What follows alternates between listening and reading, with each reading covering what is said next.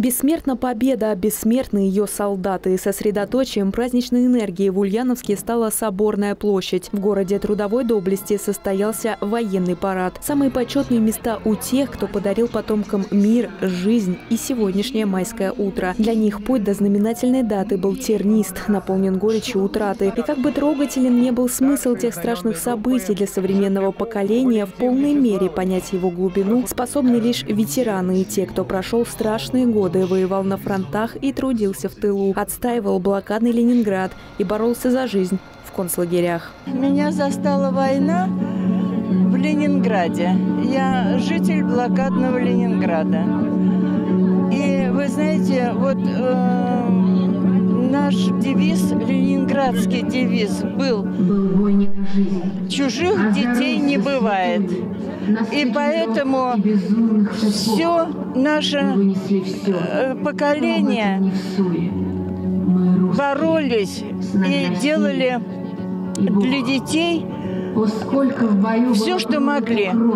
Даже пример такой, то, что в Ленинграде, в Ленинграде если родители теряли своих детей, мало ли умерли в голодовку или, и оставались сироты, они брали их в свою семью. Боролись до конца, не жалея сил, самоотверженно держали оборону перед лицом общего врага. Сегодня на праздник Валентина Николаевна пришла с букетом сирени. Для нее каждая веточка – символ победы и памяти о тех, кого судьба забрала много лет назад. О героях помнят в каждой семье, ими гордятся, на их поступки равняются. Для меня это праздник как бы со слезами на глазах.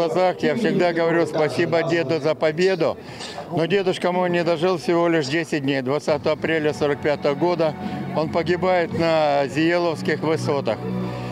А 1418 дней, которые э, страдала наша страна до Великой Победы. И я благодарен тем людям, которые сделали эту великую победу. Сегодня полковник запаса Евгений Демич вместе со своими боевыми товарищами участвует в параде. Перед началом на главную площадь города выносят флаг Российской Федерации. Сразу за ним копия Знамени Победы. Именно такой был поднят над Рейхстагом в 1945 году. Парад торжественно принимает начальник Ульяновского гарнизона полковник Дмитрий Бадаев. Поздравляю 79-й годовщиной победы советского народа в Великой Отечественной войне. Я выражаю признательность всем жителям Ульяновской области за единство, поддержку и сплочение.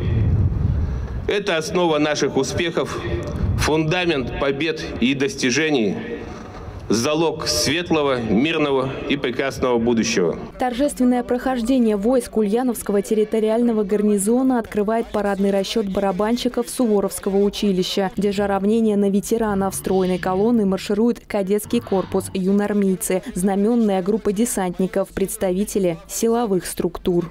Парадный расчет женщин-офицеров управления возглавляет майор внутренней службы Каткова Ольга Александровна. Не уступая пешим расчетам по площади, площади движутся армейские машины. Больше 10 моделей заранее подготовили к демонстрации. Несмотря на то, что парад, посвященный 79-й годовщине со Дня Великой Победы, организован в сокращенном формате, самую зрелищную его часть решили оставить. В этом году место легендарного танка Т-34 занимает бронированная машина «Тигр». Аналогичная модель сейчас выполняет боевые задачи в зоне проведения специальной военной операции.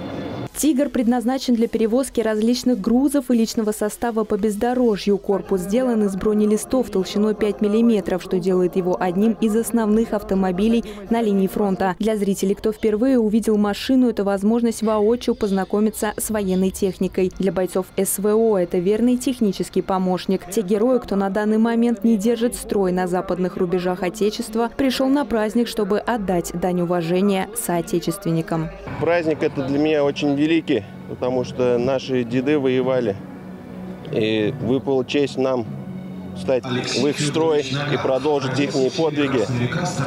Принимали мы участие по захвату аэродрома Антонов в городе Гастомель.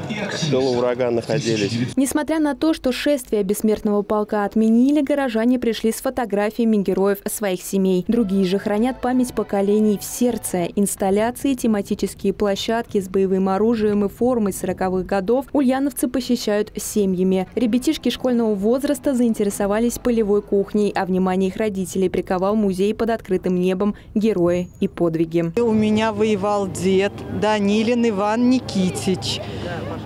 1920 э, года рождения, прошел всю войну, весь фронт, был сержантом, потому что благодаря им мы живы, живем, и что у нас прекрасные дети, внуки у некоторых.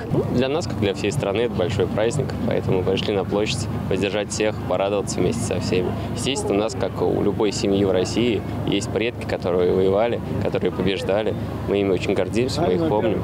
Помнят и гордятся в каждом доме. Подвигам и героизму посвящена выставка «Семейный архив. Дорога жизни». Она представлена впервые на площади Ленина. Это один из элементов праздничной программы, которая расписана буквально по минутам. Тематические площадки сосредоточены не только на центральных улицах города, но организованы в муниципальных образованиях области. Александра Никитина и Анатолий Рассохин. Управда ТВ.